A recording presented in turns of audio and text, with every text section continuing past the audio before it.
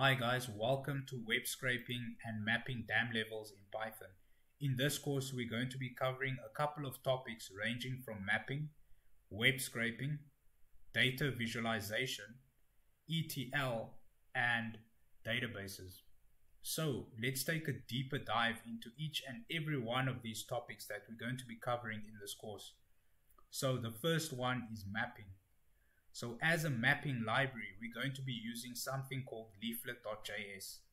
So leaflet.js is a JavaScript library that is used for building interactive maps. The second topic that second topic that we'll be hitting is called web scraping. So web scraping is a form of data mining which involves extracting data from a website. Another word for it is called web harvesting. The third topic that we'll be looking at is data visualization. Data visualization is the process of visualizing data by displaying it in graphs. So as a visualization library, we're going to be using chart.js. So chart.js is a JavaScript library as well, used for building interactive graphs.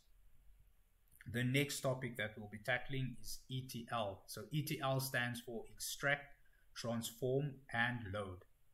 So ETL is the process of extracting data from a variety of sources, cleaning and transforming that data, and lastly loading that data into a target table or a flat file.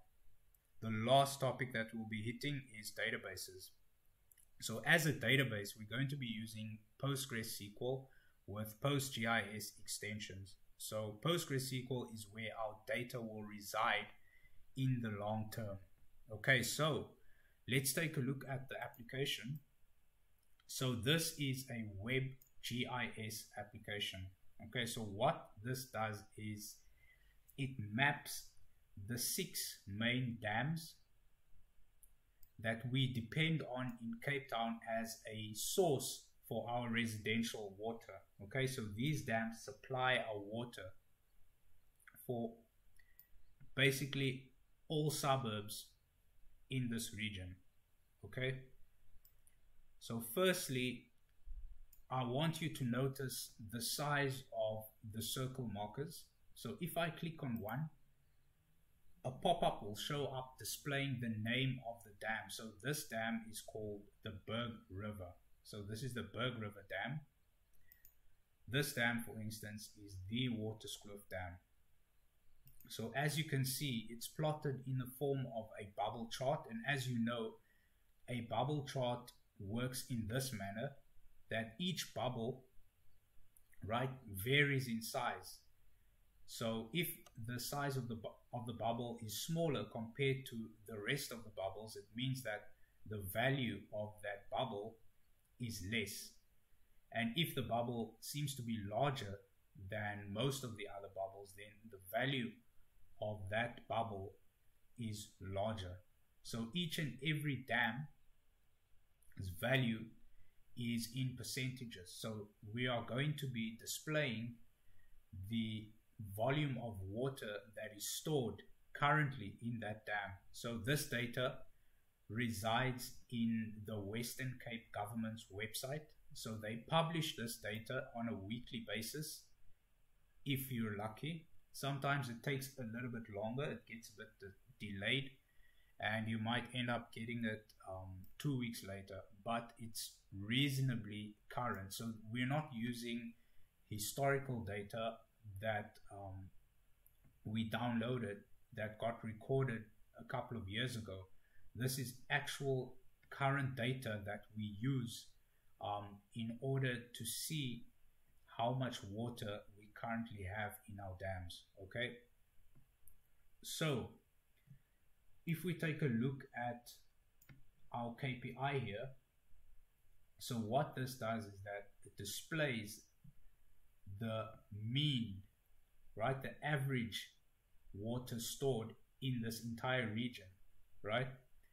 So what it does is that it takes each um, percentage value of water available in the six main dams of Cape Town and then it works out the mean, right? Meaning, meaning the average of water that we have available in the region. So right now we are in the green. We have 64% of water in the region, right? Which is okay, right? And as you can see next to the value, we have a green arrow pointing up. So this is a KPI that indicates that um, we are not in danger of a drought. Okay, so we still have a reasonable amount of water um, in our dams overall in this region specifically. So once we hit a value of 50% and lower, actually lower than 50%, 49% and lower, the arrow will point downwards and it will turn red. So this logic is built into this application. Okay. So another thing that we can do is, or you can do if you expand on this, this application, is you can add a notification for yourself for when the average water that we have left in the region is under 50%, then perhaps you could send yourself an email notification or an SMS notification telling us or warning us that we are in the danger zone and we are running out of water in our dams. Okay, so let's take a look at the data. Okay, so as you can see, each dam is color coded.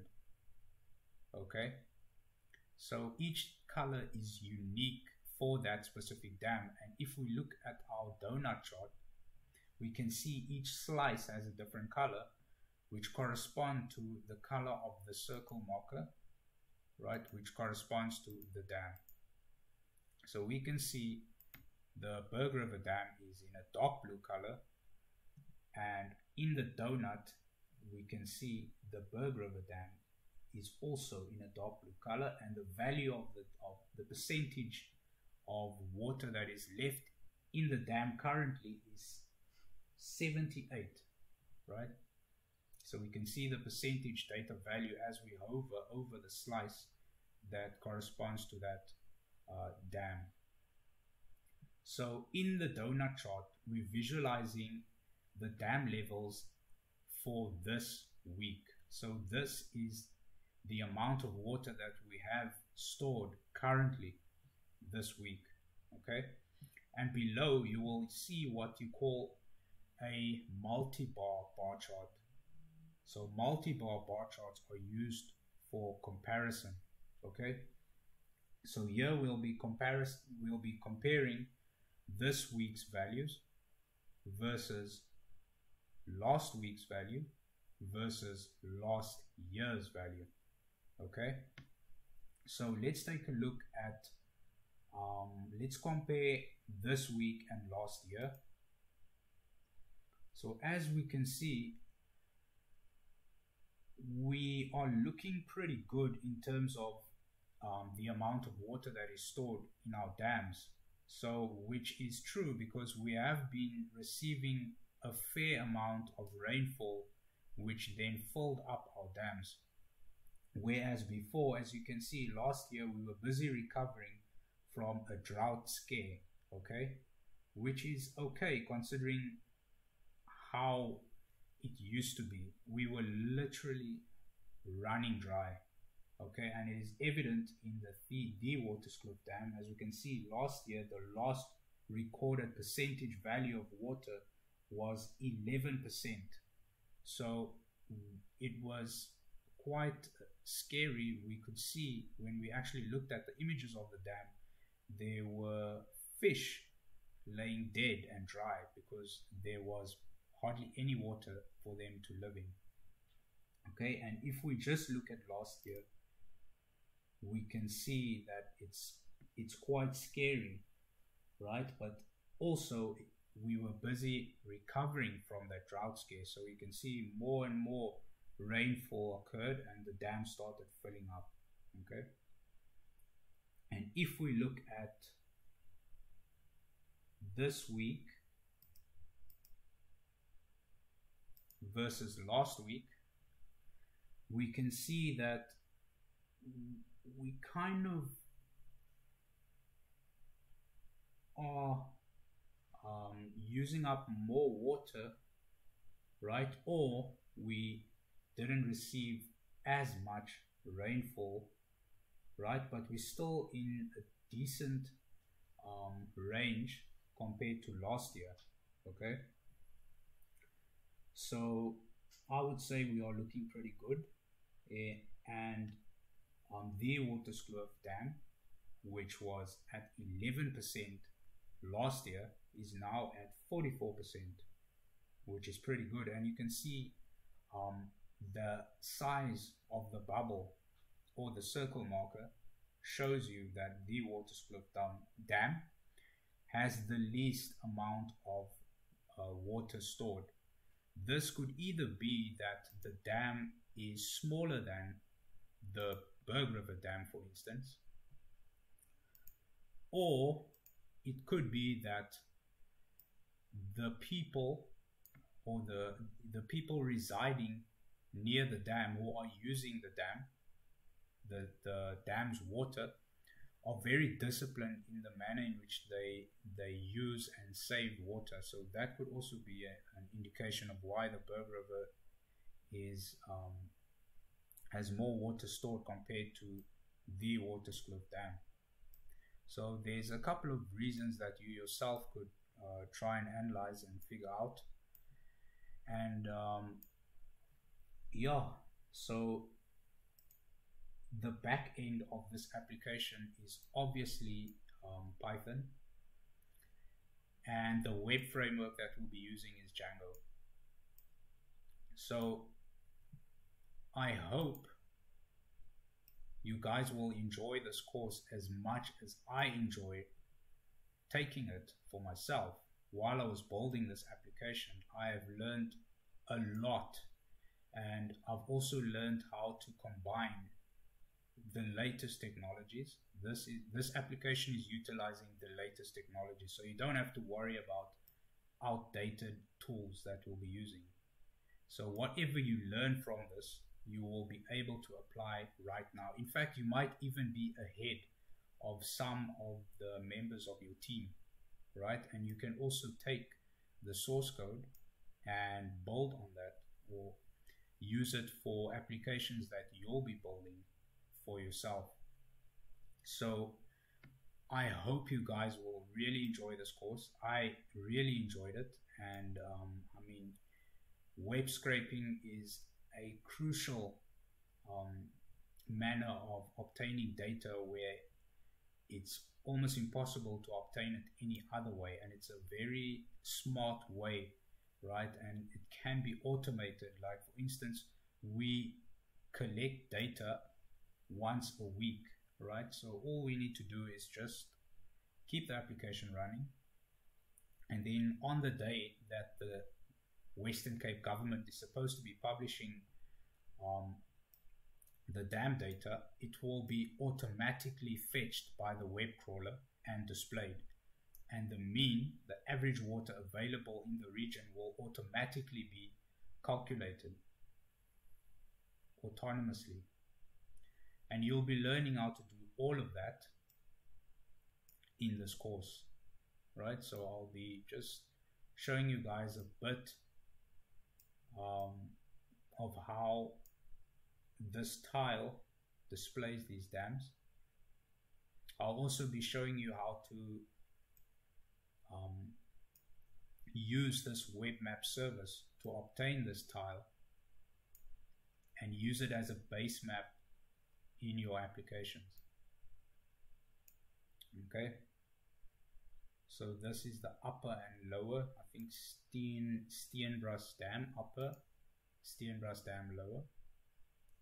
And as part of the ETL, I'll be showing you how to join uh, pandas data frames in order to get the GPS coordinates. Right. So all of that you'll be you'll be learning in this course. So thank you for your time. Thanks for watching this, and I hope you guys will have a blast, right? And I hope you'll be able to complete this without making too much mistakes. And if you need help, you have my email available. I do answer all queries as best as my knowledge. I also have the source code if you want to just, uh, instead of following along, just copying and pasting the um, boring stuff like the the tedious stuff like the front end and the styling, etc. And also um, make sure you have a decent internet connection um, in order to to kind of stream this web map service that will allow us to display the base map. So as you can see, my internet connection is not that great at the moment, so it's kind of laggy. And uh, yeah, thank you very much, guys. Enjoy.